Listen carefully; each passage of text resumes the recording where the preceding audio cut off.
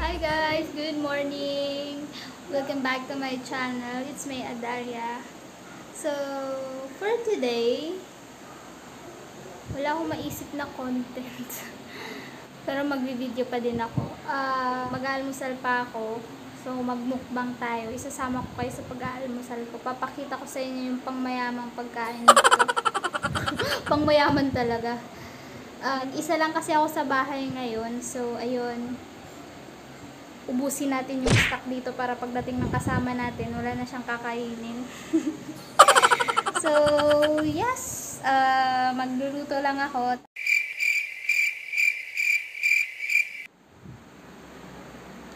Hi guys, welcome back again. May kasama na tayong food. Yes, mag-aalmusal ako ngayon. Ayan, pancit canton with two eggs, almusal, dami, and rice with hot dog. At also, may coffee ako dito pag nauhaw. Coffee. So, ngayon, uh, wala kasi ako maisip na content. So, actually, may nabasa din naman ako dun sa last last week kong post na magmukbang daw ako. So, why not? Mag-aalmusal pa lang naman ako. E di, ito na yung imukbang ko. Hello, bud! Budget mukbang! Nahulog na kutsara ko. So, let's start. Let's eat. Hmm, na tayo? Oo. Hindi ko alam mauubos ko to. Kasi actually, diet po ako. Diet po ako. Diet po ako. Hindi talaga ako ganito kadami kumain. Talaga ba? Hmm.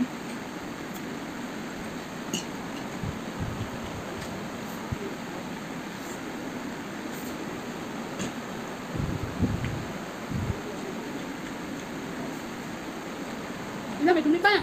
So, ayun. Gusto ko lang sabihin sa inyo guys na thank you. Kasi kahit walang kakwenta-kwenta yung vlog ko, pinapanood niyo ako.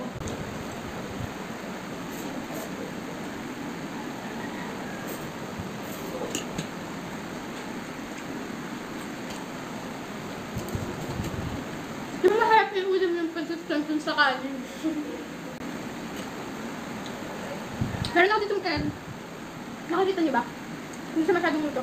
Medyo malinig pa siyang konti. Masarap. Hmm.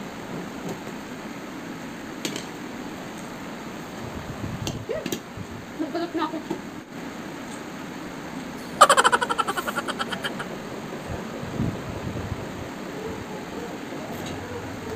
Gusto ko sana na naririnig niyo yung sounds ng pagluya ako.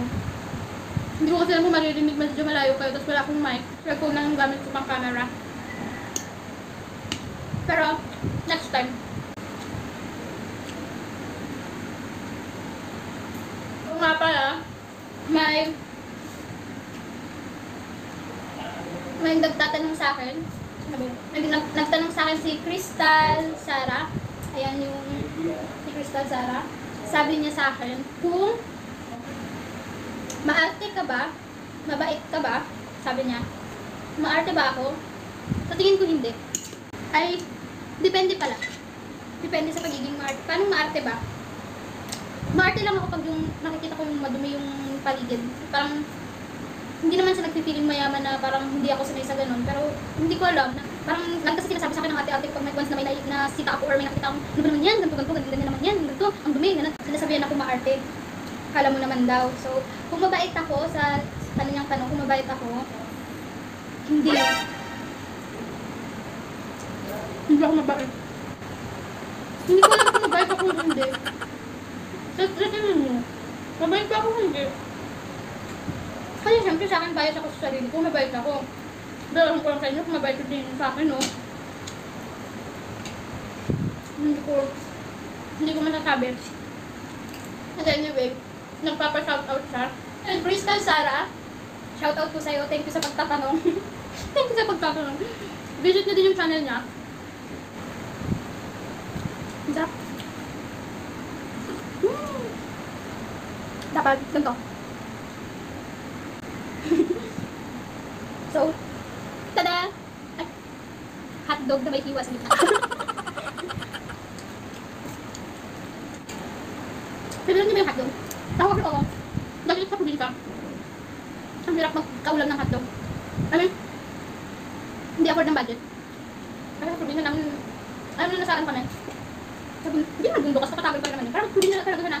Pero ano yung nasa paligid mo, yun, lang yung makakain mo. Tapos, more on tuyo kami. Tuyo, ang kong gano'n. Kaya, pag pumapasok kami kasi yung mga classmate namin, yung ulam hotdog, nakikipag-trade kami ng ulam. Tapos yung rice namin dun sa probinsya, hindi na ganito guys. Hindi siya yung, ang tawag sa amin nun is humay. Yung parang gantong bigas, hindi siya palay. Ang bigas namin dun is mais. Sino ba sa, kung may nakatikim na sa inyo na bigas na gawa, ah, mais na bigas. Masarap naman siya kanin panindig style. So pag nakaganto yung kanin mo dun sa probinsya, ay te, social mo, yaman mo ha. Hirap kaya nung nasa probinsya kami noon. Tapos, syempre nung napunta ako dito sa Maynila, pag nung nasa masabay ako nila mama, pag nag ano nagtatanong sila kung ano ulam, hotdog, hotdog. Kasi yung kapatid ko din every morning bago yung papasok yung almusal niya. Rice with hotdog. Oh. Hindi na nauubos. Ako nakaubos. Tapos, sa dinner, gusto ko din hotdog.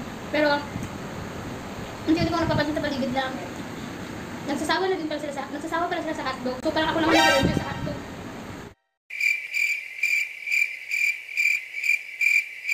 Ako lang nag-enjoy sa hotdog. Hindi sa hotdog. Pero kalaunan din kasi nag, ano din ako, nagsawa. Pinagsawaan ko din naman siya. Hotdog. Ayun, nakakasawa din pala si hotdog. Okay, may next question pa tayo. Actually, humabol ko bago ko mag-video. Simple lang naman siya. From Kia, ano? Kia, ano to? Basahin nga, tama ba? Kia Grace Lucasha. Kaya ang hirap basahin ng pangalan mo. Ano to, Kia? Kia? Pero sabi niya dito, sabi niya, ilang taon na daw ako. So, sa dati kong vlog, sa dati kong vlog, sa dati kong video, nasabi nung Q&A, nasabi ko na na, I'm 22 years old, 22 years old ko pala, magka-23 na ako this year, sa December. Um, yun, yun lang yung gusto niyo malaman. So, shout out sa'yo, Kia, Grace, Lucasha. Check niyo na din, may channel din agad siya. Support niyo din siya, guys. Kain tayo. Malapit ko na maubos yung pancit canton.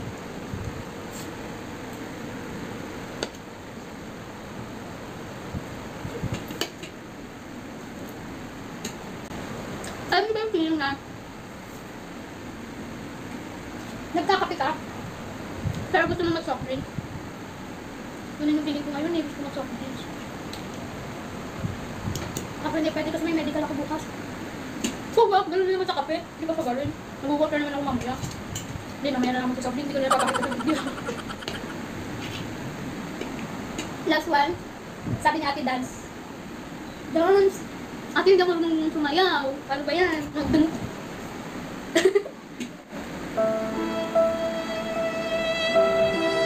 okay na yan. hindi ako sumasayaw. Wala akong talent, ate. Hotdog. ano lang yung ginagawa ko. Ang talent ko lang is natulog ng mahaba. Kumain ng marami. Yun yung talent ko. Nakakalungkot, no?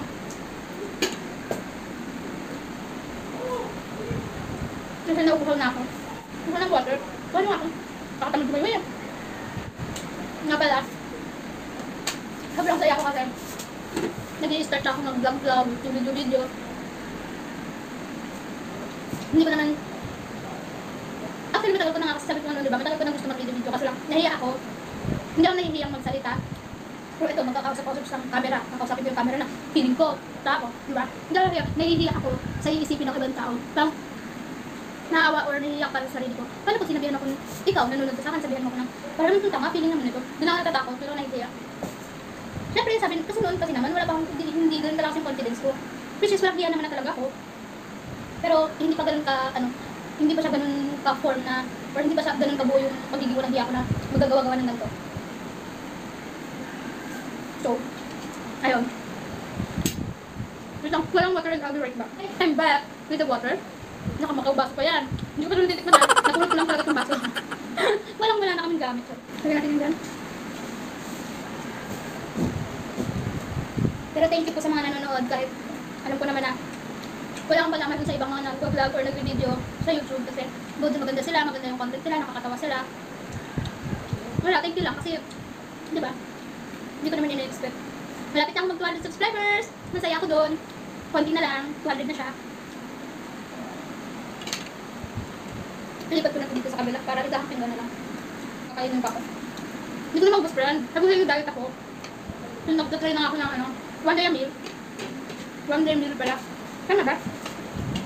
One day a meal o one day meal? Trinay ko siya nung, trinay namin ng partner ko, no? Nagka-quarantine. Yung hindi maiwasan. Na, siyempre mapapakain ka ng marami. Magchichichirya, yung ganun.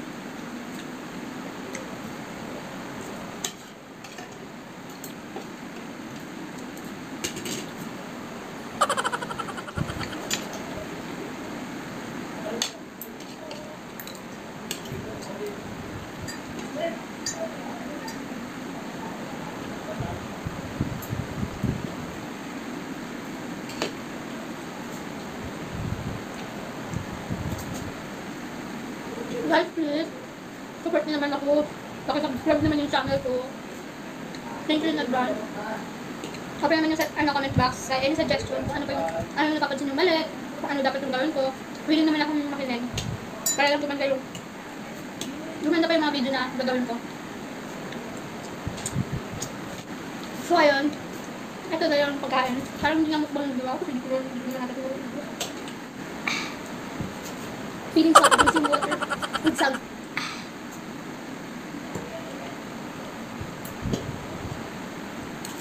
Mm.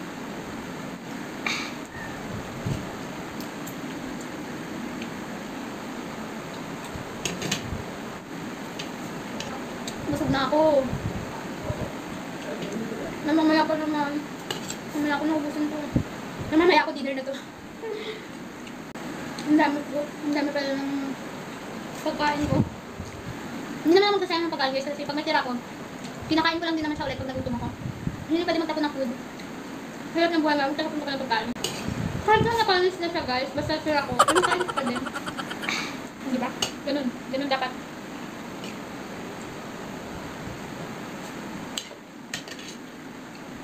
Ito na yung ubus natin.